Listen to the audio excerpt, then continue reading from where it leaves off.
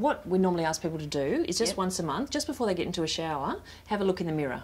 Okay, so just pretend I'm your mirror, Mm-hmm. and what you're doing is just having a look to see do my breasts look normal for me.